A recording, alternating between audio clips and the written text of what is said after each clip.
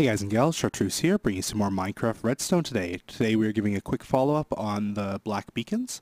I figured out a way of timing them so they don't go off and they stay on as long as possible. So what I've done here is, is created a 40 second clock where it only turns off 4 ticks. Now these 4 ticks are specially aligned so that they don't coincide with the 4 seconds in which this thing, the beacon here, checks whether it has a block above it. So this, what I found out is that this timing here is actually not related to when the block's placed, it's running its own counter as it goes. So what I've come up with is this one here. As you can see, it stays on for 3.6 seconds, is off for 0.4 seconds, and goes back really quick. So all three of these together, this one's the exact opposite. The timing, I've tried to put as close to that as possible, but slightly off. But you can see this one stays white for as long as possible, blinks it to black, and stays the same.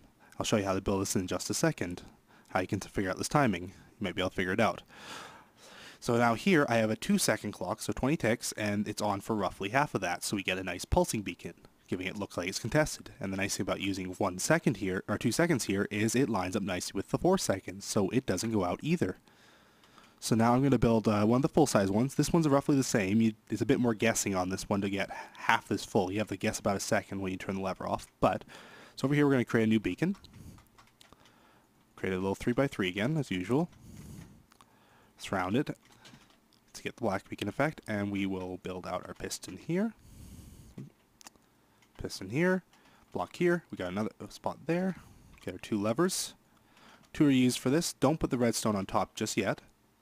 And we'll, oops, uh, put it here. I'm just using iron because I don't need more blocks.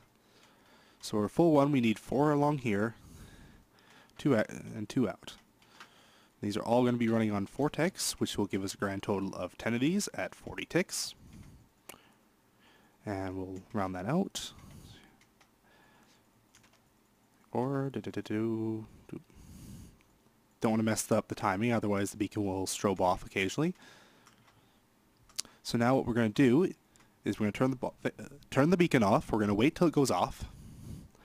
Now we're going to wait till it comes back on again. As soon as it comes back on, we're going to try and hit this lever. Oop, I was late on. I was too late on that, so let's just cancel that. I was taught. I was thinking about too much about what I was saying and not what I was doing. So beacon's gone off. We're gonna wait for it to come back on. Boom. We're gonna wait till it gets this right near the end here. I'm gonna turn off here so I don't miss. So that wasn't perfect. I left eight ticks in there instead of four. But when we connect this up here, we got our beacon, which stays on for most of the time. It was off for a bit. Now I wasn't perfect, so I, I missed. Uh, I was I was a repeater off there when I turned it back on. I'm sure this could be automated, but this is just my quick setup for doing it by hand. Uh, there's no the pist the beacon doesn't seem to give block updates when it turns on and off anymore. I thought it did at one point that you could quickly setting seals upward, but no, it doesn't work. So that's our one problem. I seem to have messed this one up somehow. I'm not sure what happened if my clock fell out of sync because it's not exactly 4 or something, but that's odd. Let's break this for a second. Weird. It was working just fine earlier. Hadn't, that's the first time that's gone off, so I guess I must have... Hmm. Must have messed up that one, but this one's been staying in sync, so maybe it's not exactly 4 seconds, maybe it's something close. But for me it seems to work. I don't know why that one just turned off. It was working just fine until I made this beacon It had been running for maybe five minutes at, or five ten minutes at that point. This one here is the exact opposite. You just turn it on for two seconds when it hits the beacon point, and it does the same thing. Or no, you just turn it on for two seconds when it's not on the beacon point, and it'll stay off there.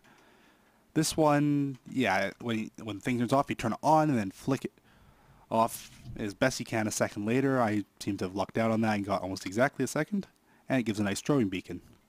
I'm not sure why this one's not working because these ones have been working for just as long as that and this one's working just fine. So anyway, this has been Chartreuse. Hope you enjoyed this quick follow-up. Have a nice day.